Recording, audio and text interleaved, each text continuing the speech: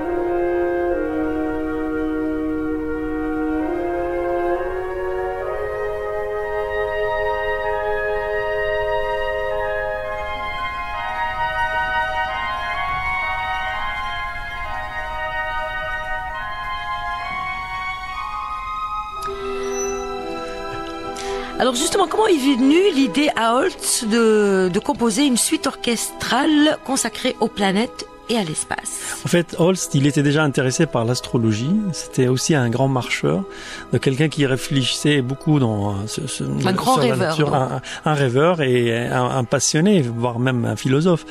Et en fait, l'idée est venue dès 1913. Il voulait écrire une œuvre majeure. En fait, il avait eu une création, c'est-à-dire une, une, composition qui a eu un échec public, qui s'appelle Fantaste, et euh, il voulait répondre par une gifle au public par une grande œuvre majeure. Donc, il va composer ça. Et il commence à écrire ça dès 1914. Le premier mouvement, c'était Mars. Il a commencé par la planète Mars. Il va terminer euh, en 1916, c'est-à-dire deux ans ça a pris, euh, avec Mercure. Mais en fait, l'ordre des compositions, c'est pas l'ordre de, de, de, de, la suite qu'on connaît aujourd'hui. Euh, L'œuvre déjà est écrite pour un grand orchestre symphonique, c'est-à-dire un bois par quatre, euh, c'est-à-dire en quasiment 80 musiciens, avec deux chœurs féminins qui vont chanter en coulisses. Et lui, il va combiner avec tous ces éléments-là, tout, tout, tout cet instrumentarium, pour donner des sonorités et des, et des orchestrations. C'est quoi C'est sa façon d'imaginer ces planètes, par exemple, ce que vous nous avez euh, écouté, c'était Neptune, c'est ça? Et donc il nous, en fait, lui, il, décrit Neptune euh, en musique. Lui, il, a donné, par exemple, les sept titres, c'est-à-dire les sept planètes. Pour chaque planète, il a donné un caractère. Mmh. Et euh, le caractère là, on le retrouve dans, dans la musique. Donc, euh, donc par exemple pour le pour Mars, il, voilà, Mars est le porteur de la guerre. C'est ça. Vénus, la, porteuse de la paix. Mercure, le messager. Jupiter, le porteur de la gaieté. Saturne, le porteur de la vieillesse. Uranus, le magicien, et Neptune, le mystique. Ce qu'on ce qu'on oui. écoutait on a vu, C'était un peu flottant. Voilà. Remarque aussi que euh, ne voulait pas euh, rajouter le Soleil parmi ces planètes-là, ni Pluton qui a été découvert en 1930, c'est-à-dire quatre ans avant le décès du compositeur. Donc de son vivant, on, lui a proposé de, rajouter le huitième mouvement, mais lui, il était tellement sceptique et voire même il était déçu par la popularité de sa suite. Il disait que elle occultait l'ensemble de son œuvre. Donc je vous propose d'écouter maintenant le mouvement 6, Uranus de Magician.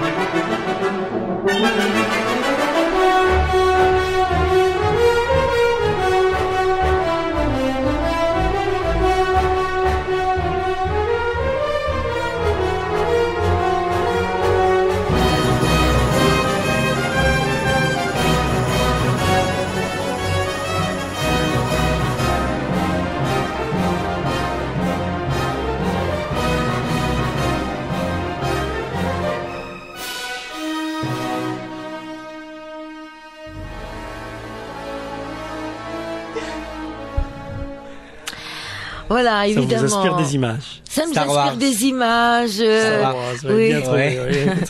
Mais euh, je veux dire, c'est il faut vraiment méconnaître le cinéma si on ne si on ne devine pas. Hein. C'est-à-dire si on est à peine amateur de, du cinéma de science-fiction, donc là on se voilà, retrouve. Signifiant. Alors justement, cette, euh, son œuvre a beaucoup influencé le cinéma, ça on l'a plus ou moins dit avec le, le, film. Mais est-ce qu'il y a que ce film-là ou il y en non, a eu Il y en a beaucoup, il y en a beaucoup. C'est-à-dire euh, Gustav Holst, surtout les, un c'est un conducteur qui a été étudié par tous les compositeurs de musique de film. En fait, euh, il a il a donné 50 ans avant des trouvailles et des astuces, euh, que ce soit en termes d'orchestration, en termes de développement du motif, que ce, en termes de de, de, de figuration, euh, qui vont être utilisés notamment dans des films de science-fiction ou des films ou, films d'horreur.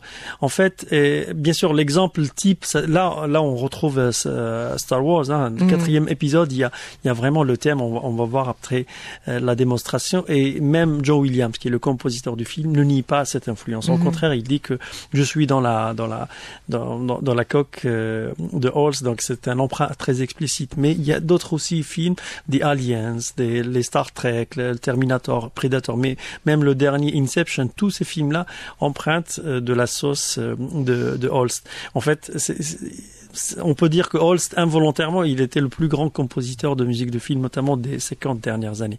Si, si on écoute par exemple la Mars qui, représente la guerre, qui représente euh, l'action militaire. Et dès, l'entrée des, archers et les marcato de, l'orchestre, on, retrouve le thème principal de, de, de, Star Wars de John Williams. Peut-être on écoute euh, le troisième, ou plutôt le premier mouvement de la planète.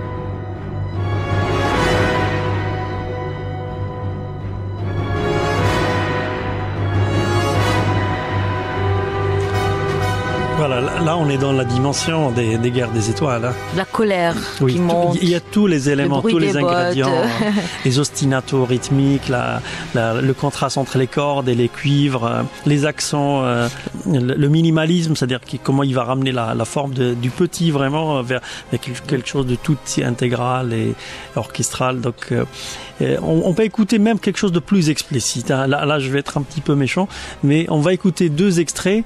Donc les planètes 1916 de Gustav Holst et juste après euh, Star Wars euh, en 77 de John Williams.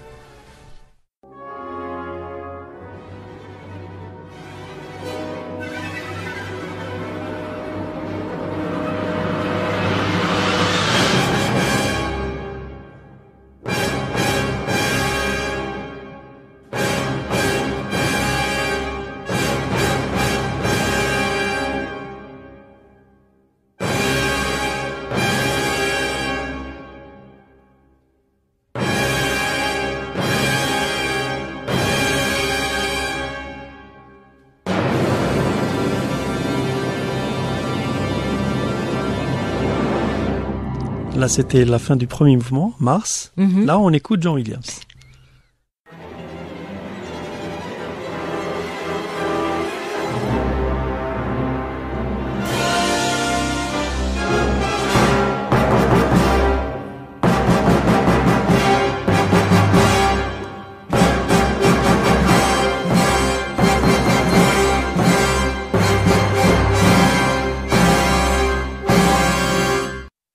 Voilà, même l'application Shazam, euh, elle confondrait les deux. C'est pour ça que vous avez dit méchant, c'est-à-dire c'était un plagiat au départ euh, Non, oui, ça a créé une polémique, c'est-à-dire on a toujours. Il n'avait pas dit explicitement que c'était euh, emprunté. Il, à... parle d'un hommage, d'un hommage à Gustav Holst, mais bien sûr en termes de droit d'auteur, là il y a, il y a toute une question, c'est-à-dire l'emprunt, il y a l'emprunt, il y a l'inspiration, il y a l'adaptation, la, il y a l'arrangement, donc mm -hmm. donc il faut bien distinguer les choses. Mais ça, ça n'enlève en rien le, génie et, la grandeur de Joe Williams, détenteur de six Oscars et, une, saga avec Spielberg euh, qui, qui dépasse les 30 films.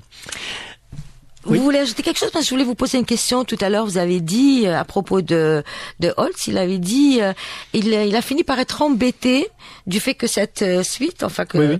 Euh, ait un peu occulté tout le reste de sa. Oui, oui, alors que alors que au début lui-même il cherchait à faire une œuvre majeure. Alors comment c'est cette contradiction? Non parce qu'il veut... a continué à écrire après. Il en a écrit aussi de très très très belles euh, musiques, des suites, des patients, des suites orchestrales, mais ça n'a jamais atteint le niveau de popularité de d'E-Planet. Euh, il, ça arrive, hein. il, y a, il y a des histoires comme mm -hmm. ça. Le concerto d'Aranjuez pour Rodrigo, il a occulté tous les autres, alors mm -hmm. qu'il qu en a composé cinq concertos pour guitare et plein d'autres concertos, mais on garde ça. De, de, de, de Tomasi, on garde les, oui. les fanfares liturgiques. C'est normal. Quelquefois, la, il y a des œuvres on, qui rencontrent le public. Voilà, et parfois, c'est de la voilà, magie. La, la, mémoire, elle est très, très, très oui. sélective et euh, c'est dommage pour le reste. Il y, a, il y a quelque chose que, que, que, je voulais dire par rapport à Holz. On, on ne connaît pas que, que il avait voyagé en Algérie. Il est venu en 1908. C'était euh, voilà pour, se traiter d'un asthme. Donc c'était un conseil de son médecin.